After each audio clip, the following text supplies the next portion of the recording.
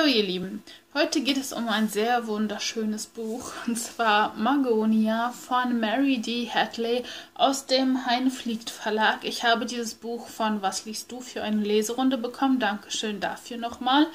Hat mich sehr gefreut, denn als ich das gesehen habe, dass das rauskommt, wollte ich es ja direkt lesen, habe es auch angefragt, habe es aber leider nicht bekommen. Ich finde nämlich das Cover einfach total schön und die Geschichte klang auch nach was Besonderem.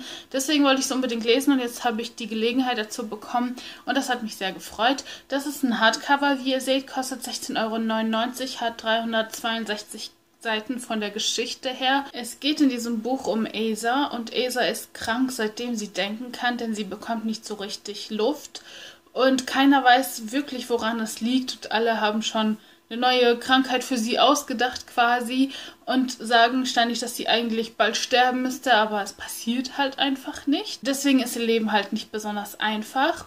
Und eines Tages sieht, die, sieht sie halt ein Schiff am Himmel, wobei sie direkt natürlich denkt, es ist irgendeine Halluzination wegen ihrer Krankheit, weil Schiffe gibt es nicht am Himmel. Als dieses Schiff allerdings auch noch ihren Namen ruft, gerät sie vollkommen durcheinander und ein paar Tage später findet sie sich auf eine bestimmte Art und Weise auf diesem Schiff im Himmel wieder. Wie genau das abläuft, müsst ihr selber lesen, war nämlich eine sehr gute Szene. Deswegen möchte ich es nicht spoilern. Auf jeden Fall gibt es auf diesem Schiff sehr seltsame Fantasy-Wesen, die ich noch nicht spoilern möchte, aber sie haben was mit Vögeln zu tun. Deswegen sind hier auch überall Federn und Vögel auf dem Cover drauf. Und die erzählen ihr dann von dem Land Magonia, das ihr Land ist und das von den Menschen verborgen ist und das ein bisschen gerade ein Problem hat, wobei sie ihnen helfen könnte. Und ob sie das wirklich kann und ob sie das macht, müsst ihr selber rausfinden in diesem Buch, falls ihr es lesen möchtet. Ich kann nur eine bedingte Empfehlung aussprechen, was dieses Buch betrifft. Bei Was liest du ist es bei den Leserunden immer so, dass es in drei Teile aufgeteilt wird und nach jedem Teil gibt man halt seine Meinung wieder. Der erste Teil ist um bis ungefähr Seite 114 oder so gewesen. Und da fand ich das Buch auch noch gut. Also die Charaktere waren ein bisschen seltsam auf ihre besondere Art und Weise, aber es hat sie, wie gesagt, besonders gemacht. Das hat sie einzigartig gemacht, das hat sie auch irgendwie ja so gemacht, dass man lesen wollte, was mit denen weiter passiert und wie sie sich noch entwickeln. Und dann, ab diesem Punkt an, ist dann halt Asa in Magonia und als es dann um Magonia ging und deren Bewohner und all das drumherum, ist das Buch sehr schnell bergab gegangen. Also versteht mich nicht falsch, es ist sehr fantasievoll, es ist auch etwas, was ich bisher noch nicht gelesen habe und die Grundidee an sich ist auch wirklich nicht schlecht. Nur die Autorin hat es einfach nicht geschafft, das umzusetzen. Also es ist wirklich eine sehr, sehr schlechte Umsetzung von einer eigentlich guten Idee. Und das ist das ganze Problem darin. Die ganzen Szenen, die auf der Erde gespielt haben, mit den Menschen, mit Esa auch auf der Erde, waren alle wirklich sehr, sehr gut. Nur das ganze Magonia-Zeugs, was eigentlich ja im Mittelpunkt steht und das Wichtigste ist, war einfach total verhunzt. Also wirklich, Esa war zu Beginn dieses, wie gesagt, freche, andersartige, clevere Mädchen, das man, über das man gerne gelesen hat, weil sie halt irgendwie eine hat es in der Leserunde noch beschrieben, wie ungefähr in Richtung das Schicksal ist ein mieser Verräter, also jemand, der halt es nicht leicht im Leben hat, vielleicht auch bald sterben wird, aber trotzdem irgendwie so damit umgeht, dass sie nicht ständig rumheult, sondern halt ihre eigene Art hat, so ein bisschen frech. Wisst ihr, was ich meine? Bisschen clever, ein bisschen frech, auf jeden Fall gut und total interessant. Und sobald sie switcht und nach Magonia kommt, ist das ein vollkommen anderer Charakter. Das ist eine 0815 Mary Sue Charakter, Fish out of water quasi, der einfach vollkommen anders ist. Also da war nichts Cleveres mehr in dem Charakter, da war nichts Freches mehr in dem Charakter. Das war alles nur so ein blankes Blatt Papier, so wie es in jedem Buch der Hauptcharakter ist, wie es eine Bella ist, wie es sonst wer ist. Eins zu eins dasselbe und das hat einfach nicht gepasst. Zu Beginn wurde sie noch vollkommen anders dargestellt und auf einmal ist sie dieses dümmliche Mädchen, das einfach alles glaubt, was ihr vorgesetzt wird und das nicht nachfragt. Und das hat für mich überhaupt nicht gepasst. Und genau das hat mich am meisten aufgeregt, weil für mich schon sehr früh und sehr, sehr schnell, weil es halt einfach so offensichtlich war, klar war, wohin dieses Buch geht und was es eigentlich bewirken will und was da eigentlich am Ende bei rauskommt. Nur für sie war es nicht offensichtlich. Für sie war alles einfach, ja, wunderschön, passt schon so. Und das hat einfach nicht zu dem Charakter gepasst. Die war vorher doch clever und intelligent und auf einmal ist sie dumm bis zum geht nicht mehr und versteht gar nicht, was da los ist, obwohl es so offensichtlich ist und direkt vor ihrer Nase. Und das war wirklich nicht gut. Vor allem alles andere war auch nicht gut. Also ich weiß nicht, woran es lag, aber diese Fantasy-Sache war nicht so meins. Ich weiß nicht, ich konnte da jetzt nicht so was Tolles dran sehen. War nicht meine Idee, obwohl es sehr fantasiemäßig war, kann man gar nichts zu sagen. Das war eigentlich sehr original. Da kann ich auch das eigentlich empfehlen, wenn man was wirklich Originelles und was Neues sucht, weil es viel im Fantasy Neues ja nicht gibt, dann kann man da echt gut zugreifen. Nur die Verpackung ist halt sehr alt und sehr, sehr schlecht, so wie es bei vielen anderen Büchern ist. Nur der Inhalt ist halt neu. Versteht hoffentlich, was ich meine. Kommt drauf an, was ihr irgendwie wichtig erachtet. Ja, am Ende muss ich sagen, der zweite Part war halt wirklich furchtbar schlecht. Das haben auch die meisten gesagt in der Leserunde. Der dritte wurde dann wieder ein bisschen besser, aber es hat es jetzt auch nicht rausgerissen, sodass ich sagen muss, dass die ganzen Parts, also es wird meistens aus Esas Sicht erzählt. Es gibt aber hier und da noch Kapitel aus der Sicht ihres besten Freundes, Jasons. Und diese Kapitel waren mir wirklich die liebsten, weil es halt eben anscheinend auf der Erde gespielt hat und weil er auch ein besonderer Charakter ist.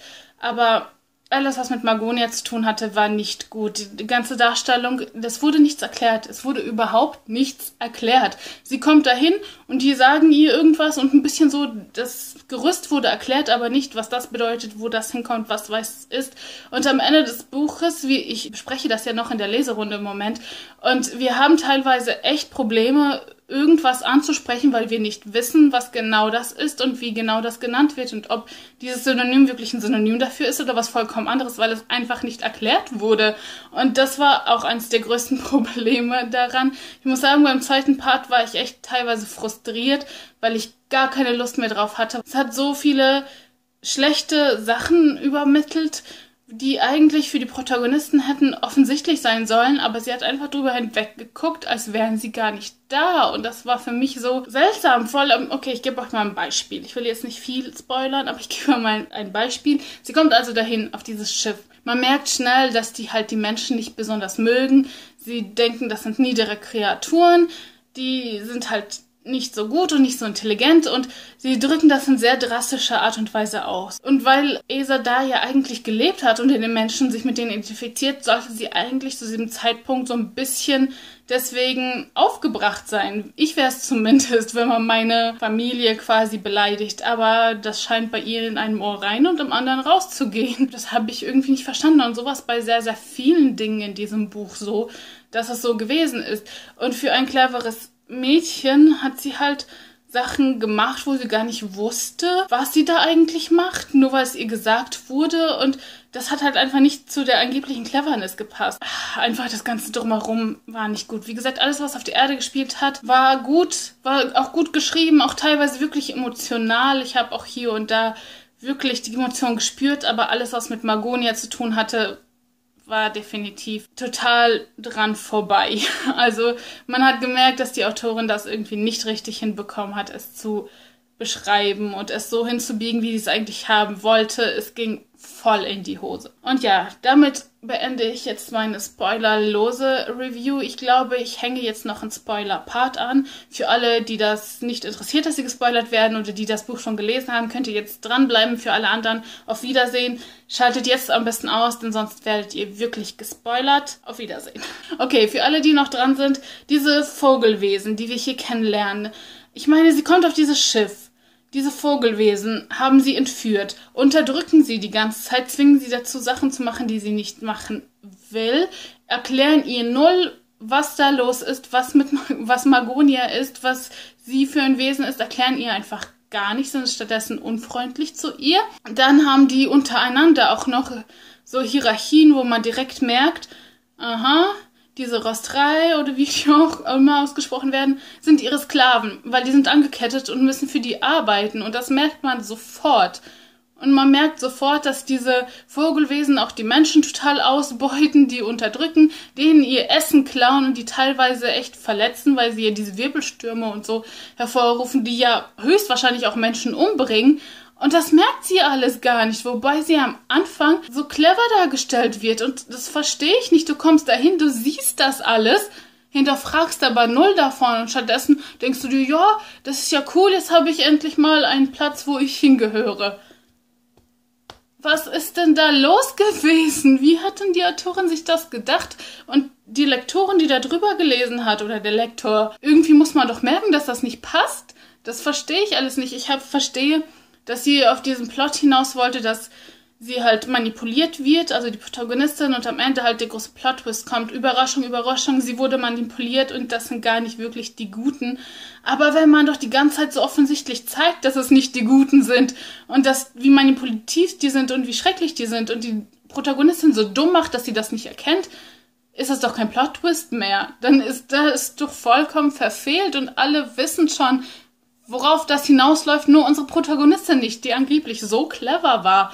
Und nein, das ist einfach nicht gut gewesen. Also wie gesagt, alles auf der Erde mit Jason und so, das hat sie wirklich gut gemacht. Sie hätte dabei bleiben müssen. Ich glaube, ohne Fantasy, so ein Contemporary Romance Buch, wäre es gut gewesen. Das hat mich teilweise wirklich, wirklich aufgeregt. Ich verlinke euch die Leserunde in der Infobox, dann könnt ihr da nochmal nachlesen. Vor allem beim zweiten Teil, da habe ich mich wirklich ausgekotzt über sehr viele Details, die ich jetzt gerade nicht im Kopf habe. Da könnt ihr dann mal nachlesen, falls ihr vielleicht drüber lachen wollt. Ich weiß es nicht. Schreibt mir gerne eure Gedanken dazu. Jetzt seid ihr hier noch übrig, die das Buch höchstwahrscheinlich gelesen haben. Schreibt euch mir auf jeden Fall eure Meinung zu dem Buch in die Kommentare. Wie habt ihr es empfunden? Es gibt ja sehr viele auch Rezensionen, die das Buch halt nicht so gerne mochten. Und ich kann es jetzt durchaus verstehen. Mich hatte ja auch jemand in den Kommentaren gewarnt, bevor ich das Buch hatte.